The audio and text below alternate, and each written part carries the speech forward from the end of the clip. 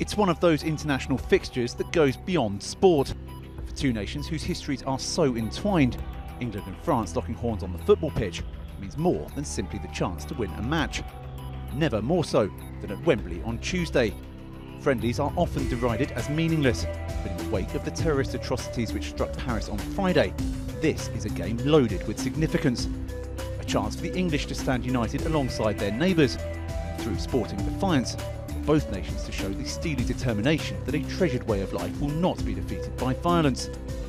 The global nature, if you like, of this statement with the game going ahead is, is, is of vital importance. So let's hope that tomorrow night is the occasion we all hope it will be, where the world of football, and in particular England, will show its solidarity with our, our French cousins, and that the people who come to watch the game will see a game of football which will give them some pleasure and some entertainment.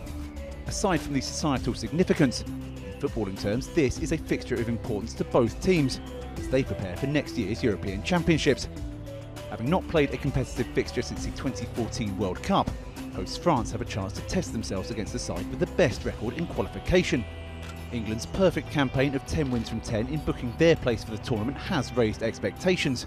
But Friday's defeat in Spain showed Roy Hodgson's side still have much work to do, especially after France beat world champions Germany 2-0 on the same night.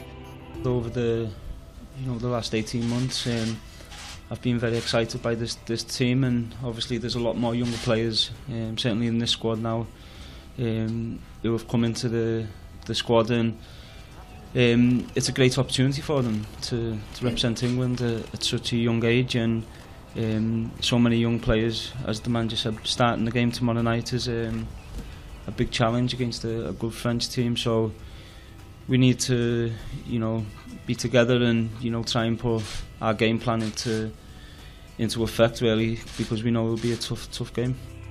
Since their maiden meeting in Paris in 1923, England and France have played a further 28 times. The Three Lions have 16 victories to Les Bleus 8, although the English enjoyed success in 10 of the first 11 matches. France have won four of the last six meetings, drawing the other two, including the pair's opener at Euro 2012. Indeed, not since 1997 have the English beaten their neighbours from across the Channel, a 1 0 win thanks to Alan Shearer's late goal. Tuesday's match at Wembley will send out a message no matter what happens on the pitch. But Hodgson hopes his side can also show they have what it takes to stand alongside the best in France next year.